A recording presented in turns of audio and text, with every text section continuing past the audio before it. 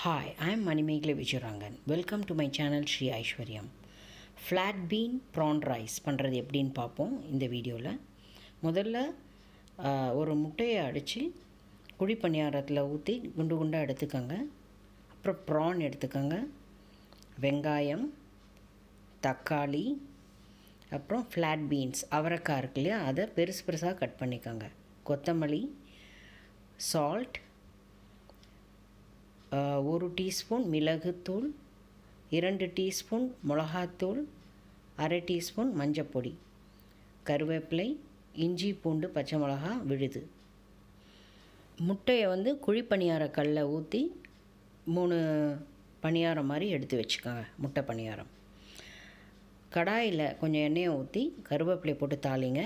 பிறகு வெங்காயத்தை போட்டுங்க. அப்புறம் இஞ்சி பூண்டு பச்சை மிளகா விழுது இருக்கு இல்லையா அதை போட்டு வதக்குங்க. இது நல்லா வதங்கின பிறகு தக்காளியை போடுங்க. தக்காளியை போட்டு வதக்கிட்டு கூட கொஞ்சம் உப்பு போட்டுக்கோங்க தேவையான அளவு.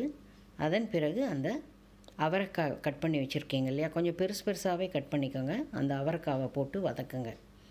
அதை வதக்கும்போது மஞ்சப்பொடி மிளகாய் பொடி இது ரெண்டையும் போட்டு நல்லா வதக்குங்க. இப்போது அவரைக்காய் வேகிறதுக்கு ஓரளவுக்கு நீங்கள் தண்ணி ஊற்ற வேண்டியிருக்கும். கொஞ்சமாக தண்ணி ஊற்றி மூடி போட்டு வேக வச்சிடுங்க. அவரைக்காய் முக்கால் பாகத்துக்கு மேலே வெந்த பிறகு இறால் கழுவி வச்சுருக்கீங்க இல்லையா? அதை வந்து போட்டு மிக்ஸ் பண்ணுங்கள் நல்லா. அப்போ பிறகு அதில் மிளகுத்தூளை போடுங்க. கொஞ்ச நேரம் திரும்ப மூடி வேக வச்சு கிளறி விடலாம். அது வெந்த பிறகு கொஞ்சம் தொக்காக இருக்கும்போது அந்த பதத்தில் அந்த முட்டையை வந்து குழிப்பணியாரத்தில் வேக வச்ச முட்டை இருக்கு இல்லையா? அதை போட்டு கிளறுங்க. இது வந்து ஒரு தனி சுவை கொடுக்கும் அந்த தொக்குக்கு. இப்போ இந்த தொக்கில் சாதத்தை வெடித்து வச்சுருக்கீங்க இல்லையா? அதை போட்டு கலருங்க. தேவைப்பட்டால் கொஞ்சம் நல்லெண்ணெய் மேலே ஊற்றிக்கலாம் நீங்கள் விருப்பப்பட்டால் இதை வந்து ஒரு லஞ்ச் பாக்ஸ்க்கெலாம் நீங்கள் கட்டி கொடுக்கலாம். ரொம்ப ஈஸியாக இருக்கும்.